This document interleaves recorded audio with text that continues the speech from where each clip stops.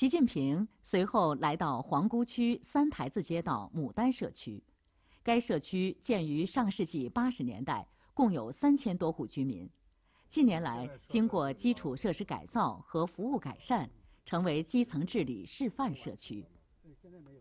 习近平走进社区党群服务中心，向社区工作者了解当地加强基层党建、改善人居环境等情况。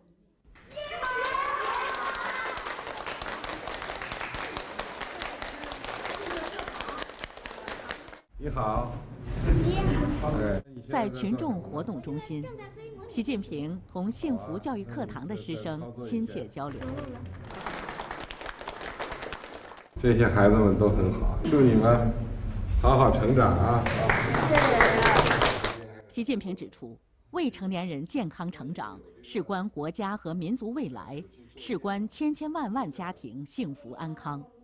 社区要积极开展各种公益性课外实践活动，促进未成年人身体健康、心理健康、心灵健康。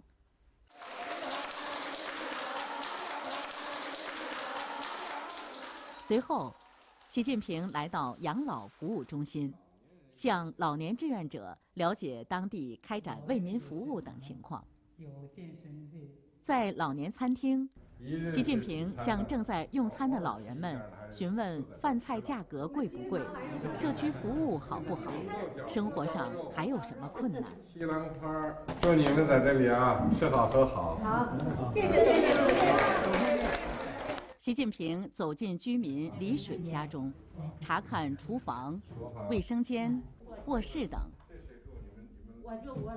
之后在客厅落座，并同一家人亲切交谈。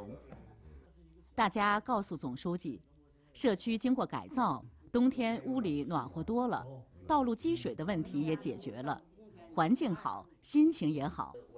现在孩子上学有着落，老人看病有托底，邻里和睦，就像一家人。看到他们日子和美兴旺，习近平十分欣慰。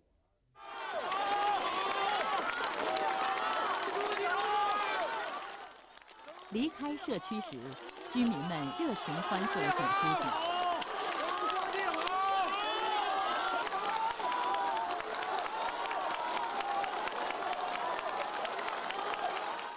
习近平对大家说：“小康梦、强国梦、中国梦，归根到底是老百姓的幸福梦。中国共产党的一切奋斗都是为人民谋幸福。”他指出。老旧小区改造是提升老百姓获得感的重要工作，让老百姓体会到我们党是全心全意为人民服务的，党始终在人民群众身边。习近平祝愿大家在新时代东北全面振兴发展中，生活一天比一天好。